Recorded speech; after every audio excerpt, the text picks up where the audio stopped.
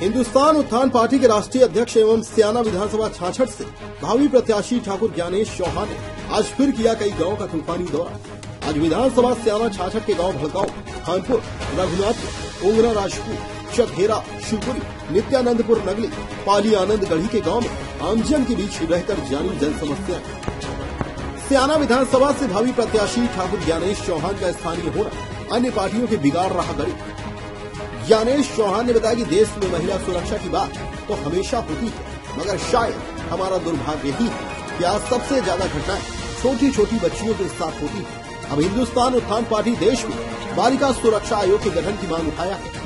जब तक हमारी मांग पूरी नहीं होती, हम लगातार यह लड़ाई लड़ते रहेंगे। विकास के रथ पर होगा पर होगा सवार सियाना परिवर्तन करेगा इस बार bureau report, Bulandshahr.